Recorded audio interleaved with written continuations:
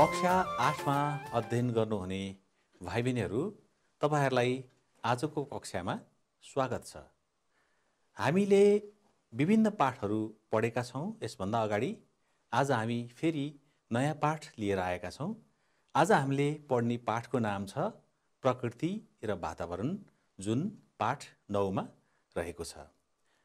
भाइ बहिनीहरू तपाईँलाई प्रकृति भनेको थाहा होला अनि वातावरण भनेको पनि थाहा होला। थाहा छैन भने पनि केही छैन। हामी एकछिनमा छलफल गर्छौँ। त्योभन्दा अगाडि म तपाईँहरूलाई एउटा कविता सुनाउँछु प्रकृतिसित सम्बन्धित है? यहाँ हेर्नुहोस् त कविताको लाइनहरू तपाईँ पनि हेर्दै गर्नुहोस्। कविता म लयमा गाउँछु तपाईँ पनि लयमा गाउने कोसिस गर्नुहोला मलाई सुनेर है? खोला र नाला वन र पाखा अनन्त आकाश खोला र नाला वन र पाखा अनन्त आकाश घाम र जुन चम्केर छर्ने उज्यालो प्रकाश जीव र जन्तु चरा र चुरी रमाई बाँचेका सृष्टिको नौलो सुगन्ध बोकी फुलहरू हाँसेका। हेर्नुहोस् त भाइ बहिनीहरू यहाँ प्रकृतिका केही चिन्हहरू छन्। यहाँ तपाईँ देख्न सक्नुहुन्छ चित्रमा घाम उदाइराखेको छ अनि तल नदी जस्तो देखिन्छ यो कुहिरो जस्तो पनि देखिन्छ यो कुहिरो हो भाइ बहिनीहरू अनि यता हेर्नुहोस् त यहाँ फुलहरू हाँसिरहेका छन् है। कविताको यो पहिलो अंश हो दोस्रो अङ्क अंश म एकछिन पछाडि सुनाउँछु तपाईँहरूलाई है। अब म तपाईँहरूलाई केही तस्विरहरू देखाउँछु चित्रहरू। यो चित्रहरूमाथि हामी एकछिन छलफल गरौँ। यो हेर्नुहोस् त चिन्नुहुन्छ यो? पक्कै तपाईँले चिन्नुहुन्छ? यो हिमाल हो है? अनि यता तल के देख्नुहुन्छ? पहाड हो। अनि तल हेर्नुहोस् त यहाँ बाटो छ यहाँ रुखहरू छन् अनि घर पनि छ है? दुईवटा घरहरू हामी देख्न सक्छौँ है? अनि एउटा कुराहरू तपाईँ सम्झनुहोस् त यो हिमाल कसले बनायो होला? है? हामी पनि हिमाल बनाउन सक्छौँ तर चित्रमा मात्रै है? हामी हिमालको फोटो खिच्न सक्छौँ तर हामी यस्तै हिमाल बनाउन सक्दैनौँ। वैज्ञानिकहरूले अहिले कोसिस गरिराखेका छन् संसारमा है? तर यस्तै हिमाल बनाउन सक्दैनन्। अनि पहाड हेर्नुहोस् त तल है? यो कसले बनायो होला? एकचोटि तपाईँ कल्पना गर्नुहोस् है? अर्को चित्र हामी हेरौँ। यसलाई चिन्नुहुन्छ तपाईँ? पक्कै चिन्नुहुन्छ यो हाम्रो देशको राष्ट्रिय पक्षी हो जसलाई हामी के भन्छौँ? डाँफे भन्छौँ है? अनि यो डाँफे पनि कसले बनायो होला? यो पनि एकचोटि तपाईँ उत्तर भन्ने कोसिस गर्नुहोस् सोच्ने कोसिस गर्नुहोस् है? हामी डाँफेको चित्र बनाउन सक्छौँ हिमालको चित्र बनाए जस्तै है? अनि साँच्चैमा डाँफे हामी बनाउन सक्दैनौँ है? फोटोसम्म हामी खिच्न सक्छौँ। अब अर्को तस्विर हेर्नुहोस्। यो चिन्नुहुन्छ यसलाई पनि पक्कै तपाईँ। तपाईँले बोक्नु पनि भएको होला कतिचोटि। यो हाम्रो देशको राष्ट्रिय झन्डा हो है? अनि यसलाई चाहिँ कसले बनायो होला है? यसलाई मान्छेले बनाएको पक्कै पनि। माथि हेर्नुहोस् त यहाँ। माथि चन्द्रमा तल सूर्य। हामी चन्द्र र सूर्य बनाउन सक्दैनौँ तर चन्द्रमा र सूर्यको हामी फोटो खिच्न सक्छौँ हामी यसरी विभिन्न ठाउँमा राख्न सक्छौँ। हाम्रो नेपालको राष्ट्रिय झन्डामा पनि चन्द्र र सूर्यलाई राखिएको छ भाइ बहिनीहरू है? अब यी तस्विरहरू मैले तपाईँलाई किन देखाएको भने प्रकृतिले बनाएका कुराहरू धेरै राम्रा हुन्छन् धेरै सुन्दर हुन्छन् भाइ बहिनीहरू है? र प्रकृति एउटा ठुलो सर्जक हो अथवा प्रकृतिले कति राम्रा कुराहरू पृथ्वीमा बनाएका छन् है? त्यो भएको हुनाले हामीले अघि हिमाल हेऱ्यौँ पहाड हेऱ्यौँ होइन? हामीले चरा हेऱ्यौँ अनि नदी नाला खोला पर्वतहरू होइन? अनि फाँटहरू भाइ बहिनीहरू यस्ता सुन्दर कुराको सिर्जना प्रकृतिले गरेको हुन्छ। त्यसैले प्रकृति एकदमै महान हुन्छ है? अनि हामी मानिसहरू चाहिँ प्रकृतिको नक्कल मात्रै गर्न सक्छौँ है? र यो पाठले हामीलाई प्रकृति के हो वातावरण के हो हामीले प्रकृतिलाई कसरी जोगाउनुपर्छ वातावरणलाई कसरी जोगाउनुपर्छ भन्ने विषयमा कुरा गरेको छ भाइ बहिनीहरू है? अब तपाईँलाई हामीले प्रकृतिको बारेमा यति कुरा गरिसकेपछि प्रकृति भनेको के होला भन्ने मनमा प्रश्न आएको हुनसक्छ। तपाईँहरूलाई मेरो एउटा आग्रह छ। तपाईँहरूसँग किताब छ भने किताब लिएर बस्नुहोस्। किताब छैन भने पनि कापी कलम लिएर बस्नुहोस्। अनि हामीले केही कुराहरू अहिले मिलेर गर्नुपर्ने हुन्छ। हामी केही अभ्यास गर्छौँ केही कुराहरू सुन्छौँ हामी है? अब हेर्नुहोस् त प्रकृति भनेको जस्तै यो प्रमा कृति जोडिएर प्रकृति भन्ने शब्द बन्ने रहेछ है? अनि प्रकृति भनेको के रहेछ? हामी हेरौँ। प्र भनेको बढी वा अगाडि हो अनि यो एक उपसर्ग भाइ बहिनीहरू थाहा छ नि शब्दको अगाडि? जोडिन आउने यहाँहरूले अघिल्लो कक्षामा पनि पढिसक्नु भएको छ। अनि त्यस्तै अर्को कृति भनेको के रहेछ हेर्नुहोस् त? कृति भनेको कुनै रचना वा सिर्जना हो। विशेष खालको काम हो। अघि हामीले प्रकृतिले बनाएका कुराहरू देख्यौँ नि है? प्रकृतिको सिर्जना कति महान छ भाइ बहिनीहरू है त्यसरी प्रकृतिले धेरै कुराहरू धरतीमा बनाएको छ है? अर्को हेर्नुहोस् त अनि प्रकृति भनेको के रहेछ? आफै बनेको वस्तु। मानिसले निर्माण नगरेको वस्तु है? प्राणी वनस्पति आदिको भित्री विशेषता पनि प्रकृति हो। अनि प्रकृति भनेको सृष्टि हो।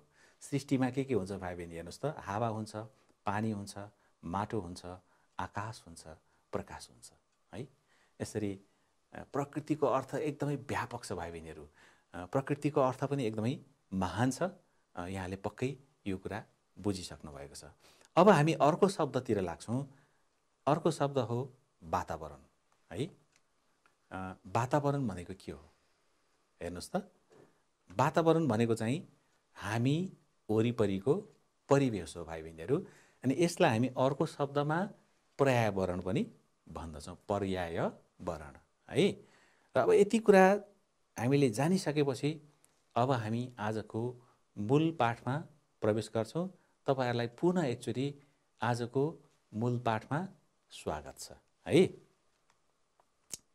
आजको हाम्रो पाठ मैले अघि नै यहाँहरूलाई जानकारी गराइसकेको छु प्रकृति र वातावरण है? र हामीले अघि प्रकृति र वातावरणको बारेमा अलिकति सामान्य छलफल पनि गऱ्यौँ है? तपाईँहरूले आजभन्दा अगाडि धेरै निबन्धहरू धेरै प्रबन्धहरू पढिसक्नु भएको छ। निबन्धहरू प्रबन्धहरू लेख्ने अभ्यास पनि गरिसक्नु भएको छ। अनि परीक्षामा तपाईँहरूलाई छोटा छोटा प्रबन्धहरू लेख्नको लागि प्रश्नपत्र पनि प्रश्न पनि आएको हुनसक्छ प्रश्नपत्रमा है? आज हामी त्यस्तै खालको एउटा यो पाठ पढिरहेका छौँ। यसमा पहिला हामी एकचोटि तपाईँ पनि पढ्नुहोस् त यहाँ के लेखेको छ। हामी ससोर वाचन गर्छौँ यसलाई है? अनि यसमा भएका भित्री कुराहरू अनि यसमा भएका अप्ठ्यारा शब्दहरू गाह्रा शब्दहरूको बारेमा पनि हामी जानकारी राख्छौँ। सबैभन्दा पहिला हामी यसलाई आवाज निकालेर मजाले ससुर वाचन गर्छौँ। है? र पहिला तपाईँ पढ्नुहोस् त एकचोटि। पढ्नुहोस् है। हस् स्याबास मानिस प्रकृतिको उपज हो। प्रकृति व्यक्ति वा वस्तुको विशेषता हो। बानी स्वभाव आदिलाई पनि प्रकृति भनिन्छ। यसले जगतको निर्माण र विकासलाई पनि सङ्केत गर्छ। वातावरण शब्दले मूल रूपमा पृथ्वी वरिपरिको हावालाई जनाउँछ यसले मानिस जीव र वनस्पतिको अवस्थालाई समेत सङ्केत गर्छ। प्रकृति र वातावरण मानव जीवनसँग प्रत्यक्ष सम्बन्ध राख्ने विषय हुन्। भाइ बहिनीहरू प्रकृति र वातावरण भनेको चाहिँ हामी मानिसहरूको लागि अति नै महत्त्वपूर्ण कुराहरू हुन्। मानिसको लागि मात्रै नभएर संसारमा जति पनि जीवजन्तुहरू छन् जति पनि वनस्पतिहरू छन् ती सबै प्रकृतिका अंश हुन् है? र हामी मानिस पनि एक किसिमले प्रकृतिका अंश हौँ प्रकृतिका अङ्ग हौँ। र वातावरण प्रकृति अनि मानिस जीवजन्तु यो धरती पृथ्वीलाई हामी छुट्याएर यो संसारको कल्पना पनि हामी गर्न सक्दैनौँ भाइ बहिनीहरू है? ल तपाईँले पनि यो पढ्नुभयो होला यो अनुच्छेद। त्यसपछि हामी अर्को अनुच्छेदमा प्रवेश गर्छौँ। अर्को अनुच्छेदमा पनि हेर्नुहोस् त। यहाँ के भनिएको छ? प्राणी र वनस्पतिको जीवन वातावरणमा निर्भर रहन्छ। है सुन्दै हुनुहुन्छ नि? अनि सृष्टिक्रमसँगै प्रकृतिमा प्राणी र वनस्पतिको जीवनका लागि निश्चित वातावरण सिर्जना भएको छ। वातावरणकै कारण प्राणी र जीवबीच घनिष्ठ सम्बन्ध स्थापना हुन्छ। विश्वमा रहेका जीवहरूमध्ये मानिस सर्वश्रेष्ठ प्राणी हो। यो कुरा हामीले धेरैचोटि पढिसकेका छौँ भाइ बहिनीहरू अनि मानिसले प्रकृतिलाई बिगार्न र जोगाउन पनि सक्छ। हेर्नुहोस् त हामीलाई प्रकृतिले कति सुन्दर हातहरू दिएको छ है? अनि अरू जीव जन्तुको हात छैन है? तर हामी हाम्रो पुर्खा बाँदरको हात चाहिँ हामी देख्छौँ होइन? त्योभन्दा बाहेक अरू जीव जन्तुको हात छैन त्यति। मानिसलाई हात दिएको छ हेर्नुहोस् न अनि यी हातहरूले हामी यो धरतीलाई सिँगार्न पनि सक्छौँ। यी हातहरूले हामी यो धरतीलाई बिगार्न पनि सक्छौँ। त्यही भएर हामी सर्वश्रेष्ठ प्राणी भएको नाताले हामीले धरतीलाई यो संसारलाई यो प्रकृतिलाई बिगार्ने होइन कि भाइ बहिनी? हामीले सिँगार्ने काम गर्नुपर्नु गर्नुपर्दो रहेछ है। अनि त्यस्तै गरी वनस्पति र अन्य जीवले प्रकृति संरक्षण गर्न सक्दैनन्। है उनीहरूले चिनेको पनि हुँदैन। अनि अर्को कुरा उनीहरूले किन सक्दैनन् होला त? मानिसले चाहिँ प्रकृतिलाई संरक्षण गर्न पनि सक्छ धरतीलाई सुन्दर बनाउन पनि सक्छ धरतीको खोज गर्न सक्छ धरतीको मात्रै नभएर आकाशको खोज गर्न सक्छ भाइ बहिनीहरू धरतीका कुना कुनामा पुग्न सक्छ कहाँ के छ भनेर पत्ता लगाउन सक्छ होइन? तर अनि प्राणीहरूले चाहिँ किन त्यस्तो गर्न सक्दैनन्? किन होला? एकचोटि सोच्नुहोस् त। सोच्नुभयो? पक्कै पनि। प्राणीहरूसँग मानिसमा जस्तो चेतना हुँदैन। अनि बुद्धि र विवेक पनि हुँदैन। र उनीहरूले यो धरतीलाई सिँगार्न पनि सक्दैनन् बिगार्न पनि सक्दैनन्। बरु बिगार्न सक्छन् कहिलेकाहीँ नजानेर बस होइन? सबैभन्दा ठुलो कुरा चेतना हो भाइ बहिनीहरू अनि चेतनाले संसार बदल्न सक्छ है? अनि यो धरतीलाई सुन्दर पार्ने पनि मानवीय चेतनाले हो है? अनि त्यही भएर सबै प्राणी र वनस्पति निश्चित पारिस्थितिक प्रणालीभित्र रहेका हुन्छन् है? हामी सबै एक अर्कामा आश्रित हुन्छौँ। हामी सबै पारिस्थितिक प्रणालीमा छौँ होइन? अब यसलाई इकोसिस्टम भनिन्छ नि भाइ बहिनीहरू तपाईँले विज्ञानमा पनि पढ्नुभएको होला है? यो हामी सबै एक अर्कासँग आश्रित हुन्छौँ। तपाईँहरूलाई यो कुरा थाहा छ होइन? जीव जन्तुहरू वनस्पतिसँग आश्रित हुन्छन् अनि वनस्पतिहरू मानिससँग आश्रित हुन्छन्। अनि एक अर्कासित आश्रित भएर यो पृथ्वी चल्ने यो सृष्टि चल्ने यो जीवन चल्ने यस प्रक्रियालाई चाहिँ हामी पारिस्थितिक प्रणाली भनेर बुझ्छौँ है? अनि प्रकृतिको यस सन्तुलित अवस्थाभित्र जीव र वनस्पतिको अस्तित्व सुरक्षित हुन्छ है? पारिस्थितिक प्रणाली खलबलियो भने प्राकृतिक अवस्था असन्तुलित हुन्छ है? जस्तै यो भन्न खोजेको चाहिँ अब धेरै वनस्पतिहरू नाश भएर गयो भने त्यसले मानिसलाई जीवजन्तुलाई असर गर्छ। अनि जीवजन्तुहरूमा पनि केही विनाश हुन थाल्यो भने त्यसले वनस्पतिलाई पनि असर पुर्याउँछ अनि के हुन्छ? असन्तुलित हुन्छ होइन? हामीले तुलोमा होइन? तुलो बराबर हुनको लागि जोख्ने ढक छ नि बराबर हुनको लागि त्यहाँ दुईतिर उस्तै तौल भएका वस्तुहरू हामीले राख्नुपर्छ। अनि के हुन्छ त्यो? सन्तुलित हुन्छ होइन? त एउटा वस्तु हामीले निकाल्यौँ भने एउटा घटी बढी भयो भने के हुन्छ? त्यो काँटा तलमाथि भयो जस्तै यो पृथ्वीमा पनि प्राणीको वनस्पतिको सन्तुलन बिग्रियो भने धरती असन्तुलित हुन्छ। त्यही भएर के भनिन्छ भाइ बहिनीहरू एउटा भुसुनाको पनि यो धरतीमा ठुलो महत्त्व हुन्छ। है हामी ठुल्ठुला जीव जन्तुको मात्रै महत्त्व हुँदैन। साना किरा फट्याङ्ग्रादेखि लिएर सानो झार वनस्पतिको पनि ठुलो महत्त्व हुन्छ। है त्यही भएर हामीले एउटा भनाइ छ नि त वसुधैव कुटुम्बकम होइन? संसारमा भएका सबै जीव जन्तु सबै प्राणीहरू सबै वनस्पतिहरू हाम्रा कुटुम्ब जस्ता हुन् भनिएको छ है? अनि त्यही भएर यहाँ अरू थप कुरा के भनिएको छ हेर्नुहोस् त। यसबाट वनस्पति लोप हुने र जीवले अनेकौँ सङ्कट झेल्नुपर्ने हुन्छ। यो असन्तुलित भयो भने होइन? धरती असन्तुलित भयो भने। अनि प्राकृतिक सम्पदालाई जोगाइराखेमा वातावरण संरक्षण हुन्छ वन जङ्गल नदी हिमाल पहाड खनिज आदिलाई सन्तुलित ढङ्गले उपयोग गर्नुपर्छ। वातावरण संरक्षणको यो कार्य मानिसले मात्रै गर्न सक्छ। मानिसले मात्र वातावरणलाई संरक्षण गर्न सक्ने रहेछ है? अब एकचोटि यो अनुच्छेद तपाईँ आफू पनि पढ्नुहोस् नजिकको साथीलाई पढेर सुनाउनुहोस् घरमा दाई दिदी हुनुहुन्छ भने उहाँहरूलाई पनि पढेर सुनाउनुहोस् है? र अब हामी यहाँ प्रयोग भएका केही शब्दहरू उच्चारण गर्छौँ। है त? तपाईँ पनि पहिला उच्चारण गर्नुहोस्। यहाँ हेर्नुहोस् त के के शब्दहरू छन् कस्ता शब्दहरू छन्। हेर्नुहोस् त कोसिस गर्नुहोस् त। पक्कै पनि अघि हामीले पाठ पढ्दाखेरि पाठमा उच्चारण गरिसकेका छौँ। तपाईँ एक्चुली सम्झिएर यी शब्दहरूलाई पढ्ने कोसिस गर्नुहोस्। पक्कै पनि यहाँले पढ्ने कोसिस गर्नुभयो होला। पहिला के छ यहाँ सुरुमा हेर्नुहोस् त। निर्भर। पहिला म शब्द सरस्वती पढ्छु। तपाईँ पनि भन्नुहोस् सँगसँगै है।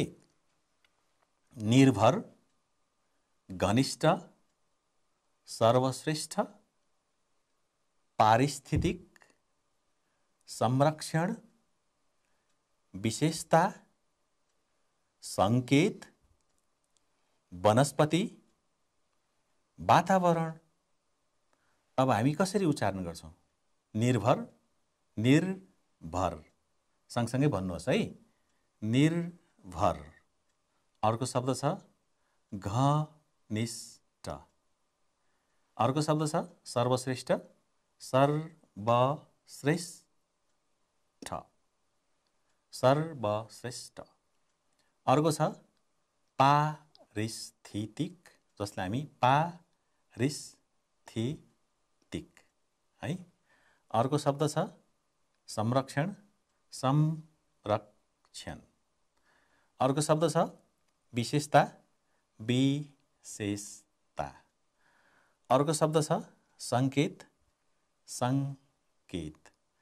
अर्को शब्द वनस्पति वनस्पति।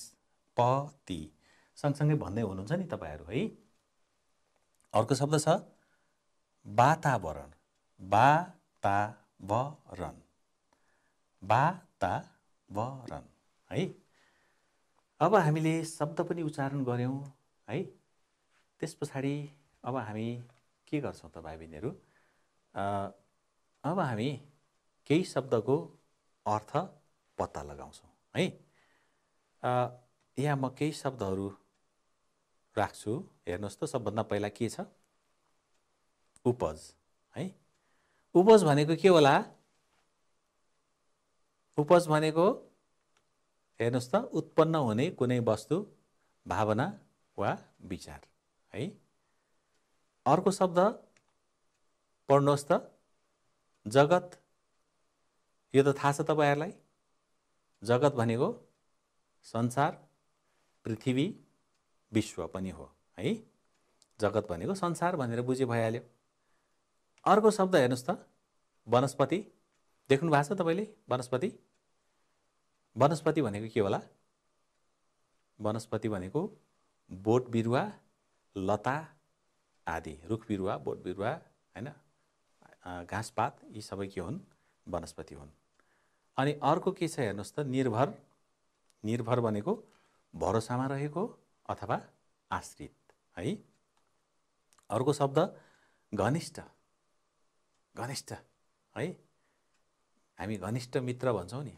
घनिष्ठ भनेको हेर्नुहोस् त ज्यादै नजिकको है? अर्को शब्द हेर्नुहोस् अब संरक्षण होइन?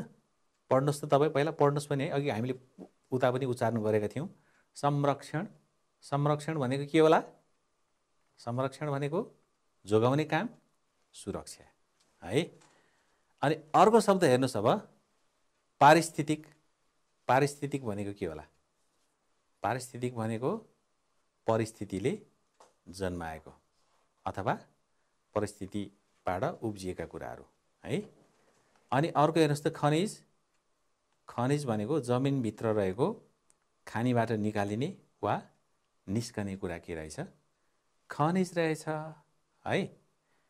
ल एक्चुली हामीले के के गऱ्यौँ? सम्झिनुहोस् त। पहिला हामीले चित्रहरू हेऱ्यौँ होइन? अनि कविता पनि सुन्यौँ अनि हामीले पढ्यौँ अनुच्छेद दुई अनुच्छेद त्यसपछि हामीले उच्चारण गऱ्यौँ अनि शब्दको अर्थ पनि हेऱ्यौँ।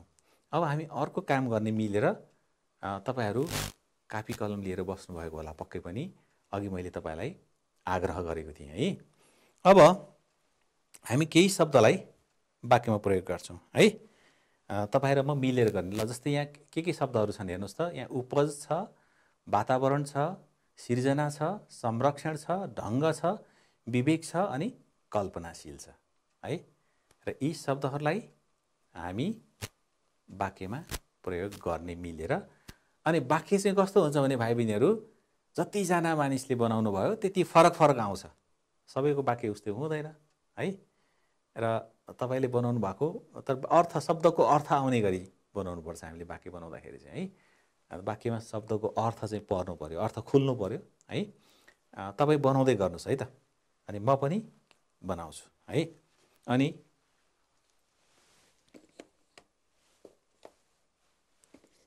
तपाईँहरूले धेरै अगाडिदेखि धेरै अघिल्ला कक्षाहरूदेखि वाक्यमा प्रयोग गर्न सिक्नुभएको हो है।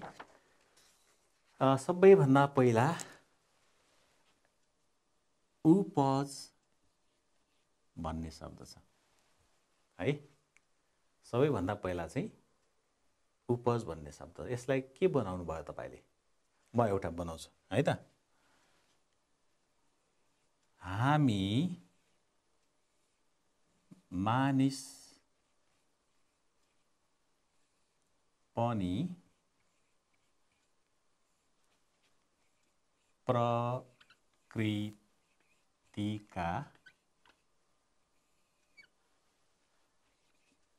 उपज हौ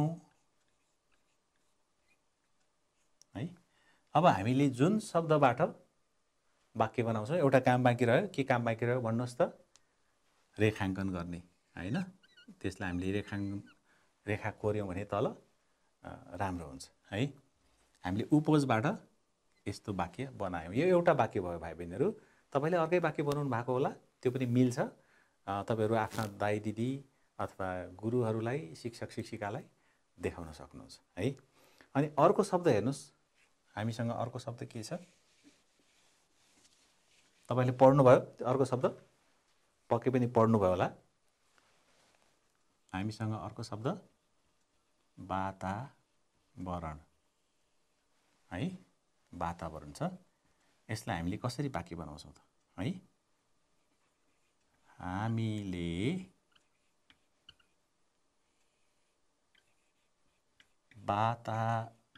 वातावरणको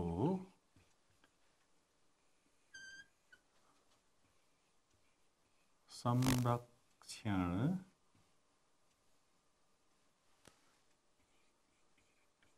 गर्नुपर्छ।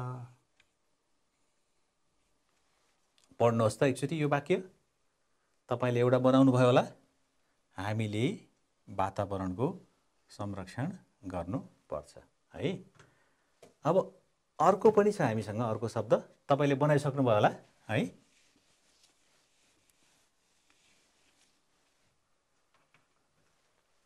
अर्को सिर्जना भन्ने शब्द छ हामीसँग है? तपाईँले के बनाउनु भयो पढेर सुनाउनुहोस्। म यस्तो बनाउँछु। यो धरती प्रकृतिको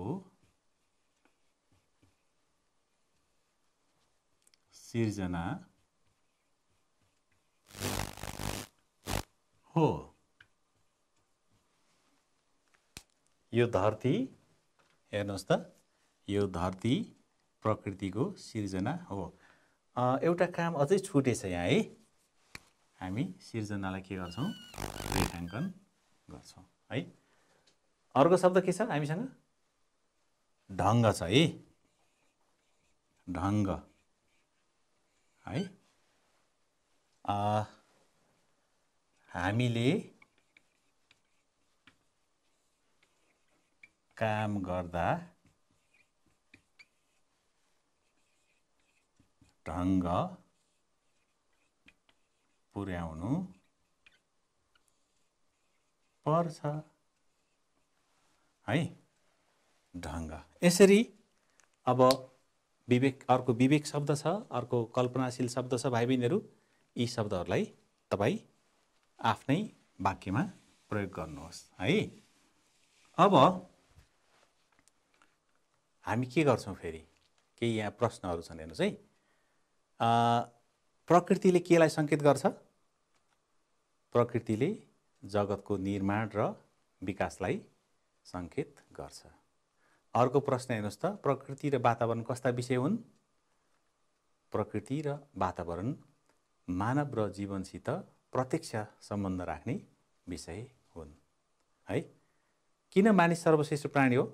अघि हामीले चर्चा गरेका थियौँ छलफल गरेका थियौँ।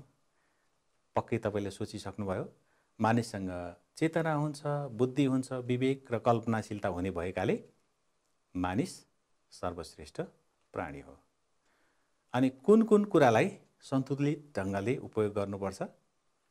भनेपछि वनजङ्गल नदी हिमाल पहाड खनिज आदिलाई सन्तुलित ढङ्गले उपयोग गर्नुपर्छ। जीव र वनस्पतिको अवस्था कसरी सुरक्षित रहन्छ? प्रकृतिको सन्तुलित रूपमा प्रयोग भएमा जीव र वनस्पतिको अवस्था सन्तुलित रहन्छ। है? अब यी प्रश्नहरू तपाईँ पनि अरू प्रश्न आफै पनि बनाउन कोसिस गर्नुहोस् है? ती अनुचितहरू पढेर है त? अब हामी मिल्दो यहाँ केही प्रश्नहरू छन्। ती प्रश्नहरू कुन चाहिँ मिल्छ हामी त्यसमा टिक लगाउने मिलेर है मिल्दो उत्तरमा ठिक चिन्ह लगाउनुहोस् है त। मानिस के को उपज हो भन्ने प्रश्न रहेछ पहिलो प्रश्न। के को होला हेर्नुहोस् त प्रकृतिको हो कि संस्कृतिको हो कि प्रकृतिको हो कि प्रवृत्तिको हो कि समृद्धिको हो? पक्कै यहाँले सोचिसक्नुभयो। प्रकृतिको उपज हो। अर्को दोस्रो प्रश्न हेर्नुहोस् त प्राणी र वनस्पतिको जीवन तलका मध्ये केमा आधारित छ? हेर्नुहोस् त घरमा लुगामा जडीबुटीमा वातावरणमा केमा होला त? वातावरणमा छ। होइन? प्राणी र वनस्पति कुन प्रणालीभित्र रहेका हुन्छन्? सामाजिक हो त? कि पारिस्थितिक हो कि भौतिक हो कि आर्थिक हो कि के होला भन्दाखेरि तिनीहरू पारिस्थितिक प्रणालीभित्र रहेका हुन्छन्। वातावरण संरक्षणको कार्य कसले मात्र गर्न सक्छ? होइन? मानिसले हो कि जीव जन्तुले हो कि वनले हो कि खोला नालाले हो? अघि हामीले पढिसकेको सजिलो कुरा छ। यो चाहिँ मानिसले मात्रै गर्न सक्छ भाइ बहिनीहरू है? अब अघिको बाँकीको कविताको अंश पढौँ है त? है अघि हामीले के पढाएको थियौँ? एकछिन अब सानो कविता।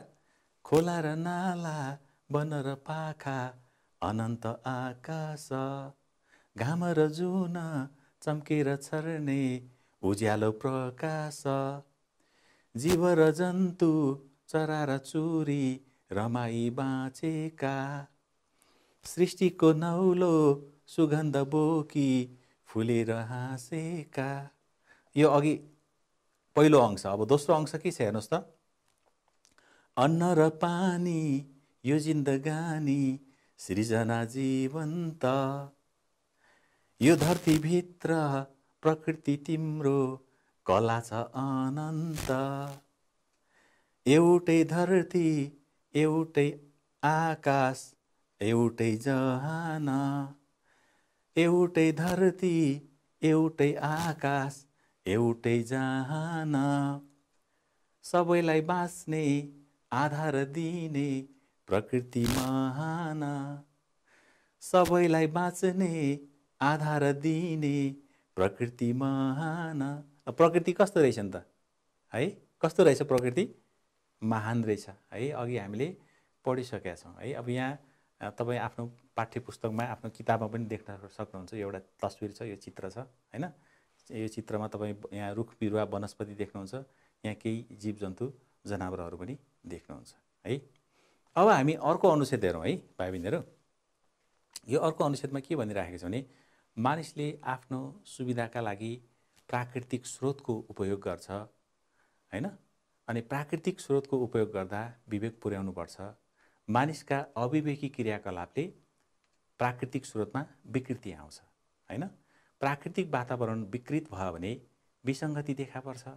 हामीले वृक्ष बाढी पहिरो अतिवृष्टि अनावृष्टि जस्ता समस्या भोग्नुपर्छ। रुख बिरुवा मासिन्छन् अनि जीवहरूको जीवन सङ्कट सङ्कटग्रस्त हुन्छ अनि प्राकृतिक सौन्दर्य नासिन्छ अनि खाद्यान्न फलफुल तरकारीको उत्पादन कम हुन्छ। अनि मौसममा परिवर्तन आउँछ अनि बाली नालीको उत्पादन अनि समय परिवर्तन हुन्छ बाली नालीको उत्पादनमा होइन? अनि नदीहरू सुक्न थाल्छन् हिमालहरू पग्लन थाल्छन् अनि यसले यसको प्रतिफल मानिस स्वयं सङ्कटमा पर्छ। यसर्थ वातावरण प्रतिकूल हुन नदिन प्रकृति स्वच्छ राख्न मानिसले प्रयत्न गर्नुपर्छ है? अब यसै गरी तपाईँ पढ्नुहोस्। यो अर्को अनुच्छेद पनि तपाईँ यो लामो छ। तपाईँहरू पढेर साथीहरूलाई सुनाउनुहोस् घरमा दाई दिदीलाई सुनाउनुहोस् है? अब हामी केही शब्दको अर्थ बताउँछौँ है? अघि यो यी पछिल्लो अनुच्छेदबाट जस्तै विवेक भनेको के होला हेर्नुहोस् त? विवेक भनेको असल र खराब छुट्याउन सक्ने है? अनि भुक्ष्य भनेको के रहेछ हेर्नुहोस् त? बाढी पहिरो आदिबाट जमिन भाँसिने बग्ने वा नासिने काम अनि कल्पनाशील भनेको के रहेछ? कल्पना गर्ने सोच विचार गर्ने क्षमता भएको अथवा भएकालाई हामी के भन्छौँ? कल्पनाशील भन्छौँ। त्यस्तै अरू शब्द पनि छन्। विसङ्गति अघि हामीले सुनेका थियौँ यो शब्द। के होला विसङ्गति भनेको? विसङ्गति भनेको सङ्गति नभएको अमिल्दोपन बेमेल भएको नमिलेको के? अनि अतिवृष्टि अर्को शब्द हेर्नुहोस् त। पानी धेरै पर्नु अथवा अधिक वर्षा हुनु अथवा धेरै वर्षा हुनु। अनि अर्को शब्द छ अनावृष्टि भनेको के रहेछ हेर्नुहोस् त पानी नपर्नु। अर्को यो शब्द पढ्नुहोस् त तपाईँ उच्चारण गर्नुहोस् त प्राङ्गारिक होइन? के रहेछ यो? प्राङ्गारिक। यो भनेको के रहेछ? गोबर मल अथवा घाँसपातबाट बनेको मल जसलाई हामी जैविक मल पनि भन्छौँ भाइ बहिनीहरू है? अब हामीले शब्द अर्थ पनि हेऱ्यौँ। अब यहाँ केही प्रश्नहरू छन् भाइ बहिनीहरू हेर्नुहोस् त कसरी प्रकृति प्राकृतिक स्रोतमा विकृति आउँछ? कसरी आउँछ होला? मानिसका अविवेकी क्रियाकलापले प्राकृतिक स्रोतमा विकृति आउँछ है?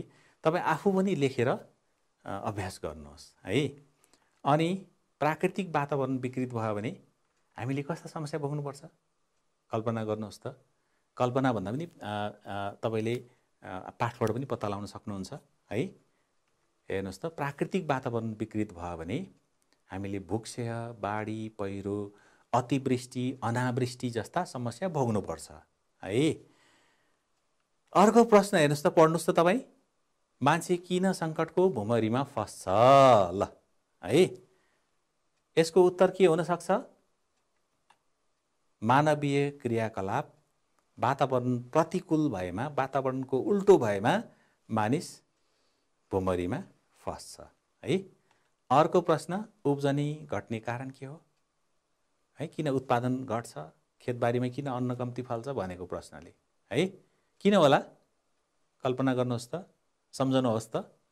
किनभने जमिन दूषित भएमा उब्जनी घट्छ। है? ल।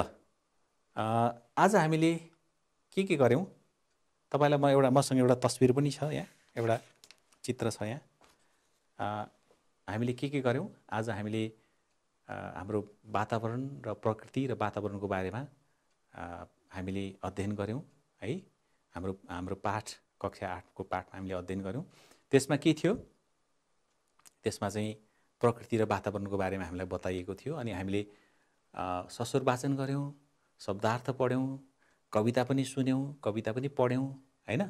अनि हामीले शुद्ध उच्चारण गऱ्यौँ वाक्यमा प्रयोग गर्ने अभ्यासहरू गऱ्यौँ अनि प्रश्नको उत्तर पनि भन्ने अभ्यास गऱ्यौँ। अब तपाईँले चाहिँ के गर्नु पऱ्यो भने तपाईँको पाठमा भएका शब्द शब्दका अर्थहरूलाई बुझेर अनि वाक्यमा प्रयोग गर्ने काम गर्नुहोला कोसिस गर्नुहोला अनि त्यहाँ भएका केही प्रश्नहरूको उत्तर पनि लेख्नुहोला अनि आफूभन्दा जान्ने दाई दिदी अनि शिक्षक शिक्षिकालाई देखाउनुहोला अनि यो हेर्नुहोस् त मेरो हातमा के छ? यो यो पृथ्वी हो। तपाईँले यसलाई चिनिसक्नु भएको छ। यो पृथ्वी पनि हामीलाई प्रकृतिले दिएको उपहार हो है? अनि यो पृथ्वीको वातावरण वातावरणभित्र हामी जीवजन्तु वनस्पति मानिस सबै हामी मिलेर बसेका छौँ। र आजको कक्षामा हामीले यसरी प्रकृति र वातावरणको बारेमा केही जानकारी हासिल गऱ्यौँ भाइ बहिनीहरू। हामीले यतिखेर भन्न सक्छौँ प्रकृतिको जय होस् यो वातावरणको जय होस् यो धरतीको जय होस् सबै मानिसहरूको जय होस् अनि तपाईँको पनि जय होस्। तपाईँहरू आज कक्षामा कस्तो रमाइलो गरी बस्नुभयो। सँगसँगै हामी मिलेर हामीले केही काम गऱ्यौँ अब हामी यसको बाँकी पाठहरू यसका बाँकी अनुच्छेदहरू हामी अरू कक्षाहरूमा पढ्नेछौँ आजको कक्षा यतिमै सकिन्छ। तपाईँहरूको दिन शुभ रहोस्। तपाईँहरू सुस्वास्थ्य रहनुहोस्। राम्रो गरी बस्नुहोस्। हस् त आजलाई यति। नमस्कार।